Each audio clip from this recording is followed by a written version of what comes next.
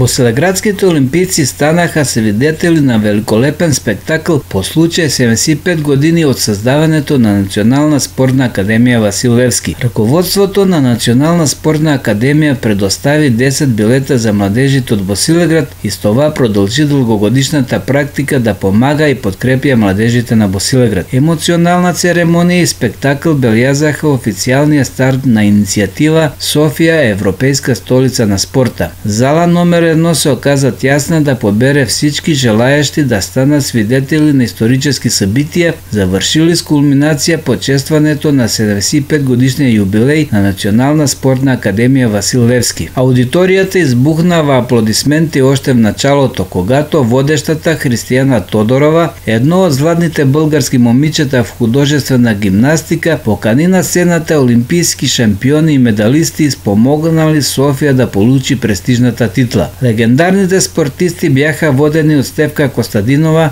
председател на Български олимписки комитет, а сред официјалните гости бяха оште Вања Колева, заместник министр на Младежта и спорта, професор Пенчо Гешев, ректор на Национална спортна академија, членовете на исполнителниот борд на АЦЕС Юроп Асоциацијата, определяща европейските градови и столици на спорта, представители кметове на досегашните европейски столици и българските градове на спорта, както и членове на управителниот совет Фондација Ев Софија Европейска столица на спорта.